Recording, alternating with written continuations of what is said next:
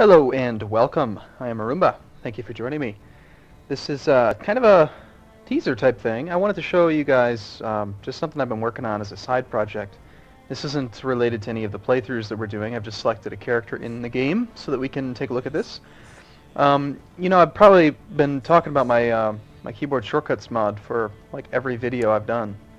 Um, but I'm actually enhancing it, and so I wanted to show you kind of a little bit of a taste of what it's going to look like. So we're just going to let the game run for a second here, and you'll see what I'm talking about. Now, it's not perfect yet, but here's a good example. Um, I've increased the keyboard shortcuts mod by adding buttons to the decisions on events.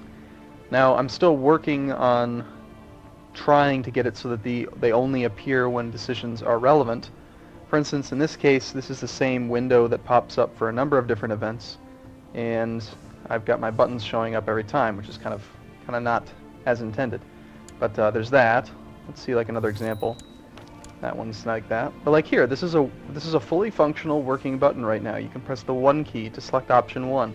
If there was a second choice or a second decision, the two key would select it. And again, if I can make it so that only they only show up when there's a relevant decision, then I think that that would be a pretty fantastic mod because I can't stand um, having to constantly click on buttons and um, one thing I'm looking to do as well is remove some of the sound effects for the events that I tend to do a huge amount of times. Like one thing you might run into is like say you want to invite 50 people to a plot, which does happen when you get a, a really large realm. I don't know yet how to make an invite all to plot button. If I could, I would. But let's say you've gone through and done this and invited like 30 people to your court, or 30 people to your plot.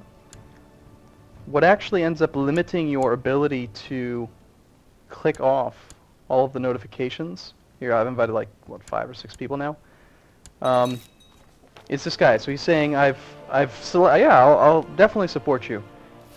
The problem is that it won't let you click until it plays that little letter opening sound effect. Can you hear it? So trying to make it so you can use keyboard shortcuts, you don't have to actually wait for the interface. You can just click, click, click, click.